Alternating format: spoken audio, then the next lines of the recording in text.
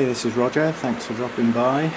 Um, I've just finished most of my watering for today and um, I need to start getting myself looking pretty for my Orchid Society meeting in the not too distant after lunch. Um, but I just wanted to put this video out on the grounds that I've always said you've got to keep your eye on things. Yeah, because things change slowly. Now we've had a lot of bad weather lately. We've had storms, we've had drizzly days, we've had dull days, we've had all that sort of thing. So for the first time in a while, the sun's come out.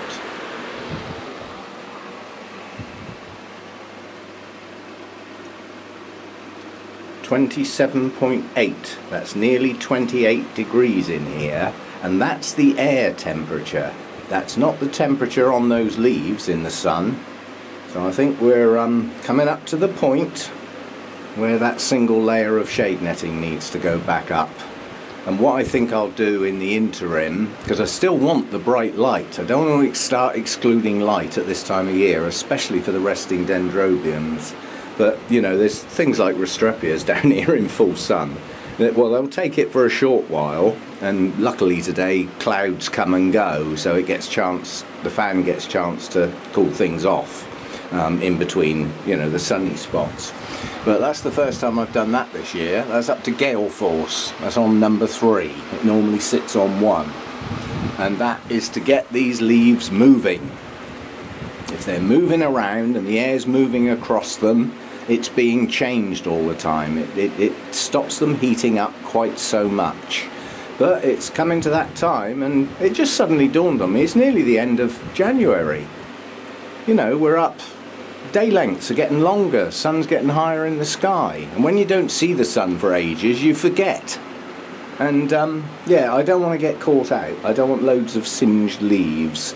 So I think what I may do in the interim is um, get the shade netting out and get myself some easy to use pins of some sort so that when I get a sunny day I can pin it up and then once the sun goes round and gets lower in the sky I can just take it down again.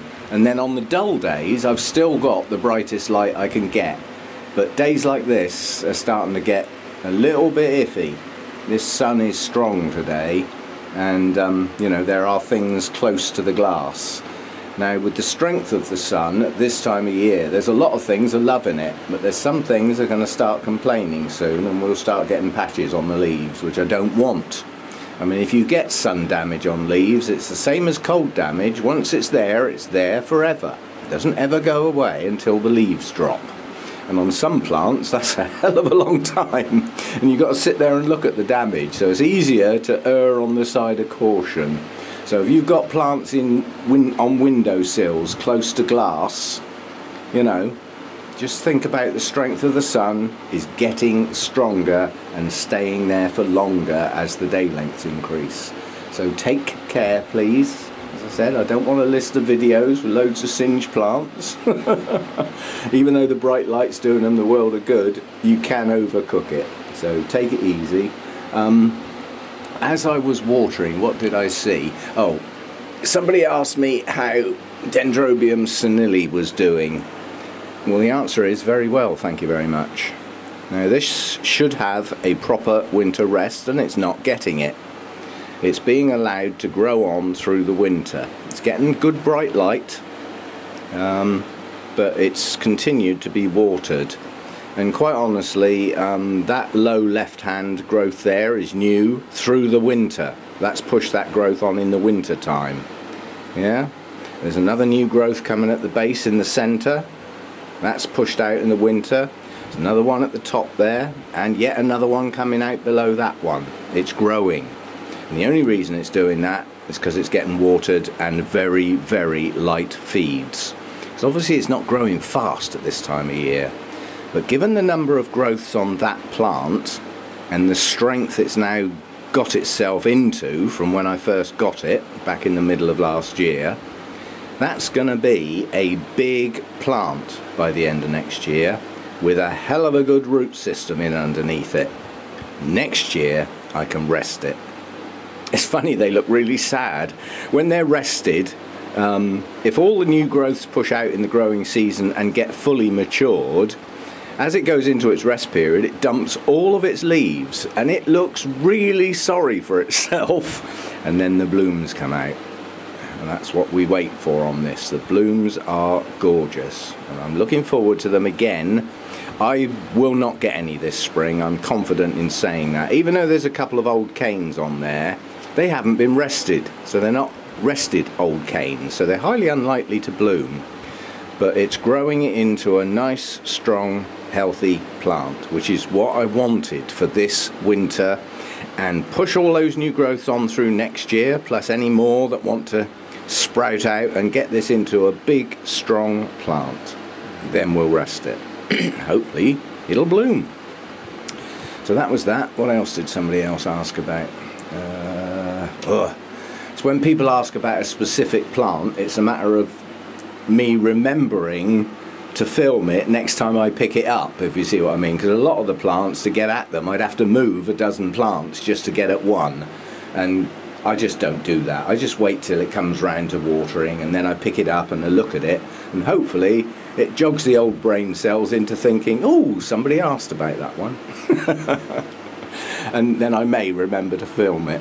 Um, somebody asked how my Jenkinsii and um, the Jenkinsii cross with aggregatum are doing, any signs of buds yet? Well, to tell you the truth, they're right up in there, and I don't know. That plant hasn't been down for over a fortnight. In fact, it might even be nearly three weeks now. It hasn't been down for a long time, so I haven't looked at it, so I don't know. They're just, I'm just leaving them be. The resting dendrobiums are just getting left. No temptation to get in there and give them water unless they need it but they're not going to need it in quick succession, if you see what I mean. If I start seeing some desiccation that's starting to get a bit serious, then they'll get watered. But, um, you know, I don't need to do it that often. You know, until we get out the end of February, um, when we've got the day lengths back and everything, um, there's, there's just no rush to bring them out of their rest period. They're loving this extra light. Hopefully they're liking the cooler temperatures. They're probably not liking this heat today, within 27 degrees. They wouldn't, I, I don't believe they would be getting that naturally in the wild. It's the one thing I can't stop. As it starts to get warmer as we head towards spring, I can't stop that. There's only so much cooling I can do in here. So uh, they have to put up with it. But, you know, with the lack of water, the bright lights and the cold night, hopefully that does the job. We'll find out soon, one way or the other. Um, oh, there's definitely something niggling me. Somebody asked about something, what's going on with your... Uh, and I've just forgotten. Oh well, maybe it'll come to me when I'm picking all the plants up next time. Oh, I know what it was. It was the um, the, the, the the dendrobium with the weird name that Google's never heard of, something like Aya or Ayla or something like that. Well, it's buried in there. It's growing buds all over it, and um, next time I get that out, we'll have a look at that. Um, it's not strictly speaking a resting type, but it is getting a semi-rest, simply because it's not growing. But it is starting to push buds now. It's got to get some energy to push those buds on from somewhere. So I don't want to keep that one bone dry, obviously. So uh, we'll see how we go. But um, yeah, I'm starting to get a bit worried about some of these plants in that sun. We'll see what we can do. I think we might have to start putting the old shade netting back up just on the sunny days and then take it down again. It's going to be down more than it is up. So it's not going to be too much of a chore. It's just a matter of, um, you know, if it's going to be a sunny day, just wait till the sun comes round on the glass, pin that shade netting up, and then literally only two or three hours later it can come down again. But it just gives that little bit of protection especially there could be new growths in there just pushing up. They're not going to like that uh, intense light on them. I do something that you might not think of yourselves. If I've got a plant, well, like a Cattleya for instance, up on the high shelf, obviously some are right up against the glass. Well, if I've got a new growth pushing out, I make sure that new growth's at the back of the plant, not at the front of the plant, if you see what I mean.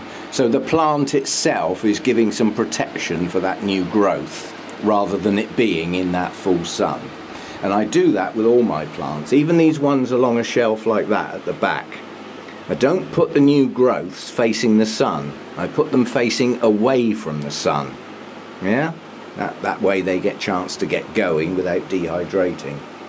Now, if a plant like that twinkle there decides to put out new growths all round the blinking plant, well, I can't do it, can I? But when I can, I just point the new growths away from the brightest light, give them chance to get going a bit first and get some roots out. Okay, uh, that'll do. Oh, that was something else I noticed. My one with the strange name that came from Rachel, which is Rodriguezia leeana, which I think might go in a pot. But it's got there, it's got something growing at the base of the latest growth. Now I don't believe that plant is big enough or old enough, if you know what I mean, mature enough, that's the expression I'm after, to be able to bloom. Um, it only pushed up the, it's grown two new growths since I got it, one small one and then last year's was a nice big one. Um, so that's probably the next new growth starting now. It's highly unlikely to be a bloom spike, but it's starting to move, and I'm noticing that, that this was the one that had the scale tucked away down in there, which seems to have gone now. Good. but, um, yeah, so uh, not much else. Oh, my Aerangis spikes are pushing on at a better rate now. They're coming on nicely. Now, I don't know how many of how many blooms there will be. It looks like four. It looks like four, maybe five on each, but they've, they've got a long way to go. They're slow growing, but they're pushing on nicely. There's two good spikes on that plant. But, um, those plants don't ever grow that big. You know, if you want a nice little Aerangis, that's a good one to choose. Fastuosa, that is. Nice one. Um, yeah, so I'll leave it at that, and um, I'll see you next time, whenever next time is. I just managed to find a gap today to just get the camera out for a minute or two, and um, that won't happen tomorrow. Uh, I may get a chance to film something Sunday. It won't happen Monday. We'll be back to Tuesday as originally thought of. And um, yeah, we'll see how we go. Thanks for dropping by.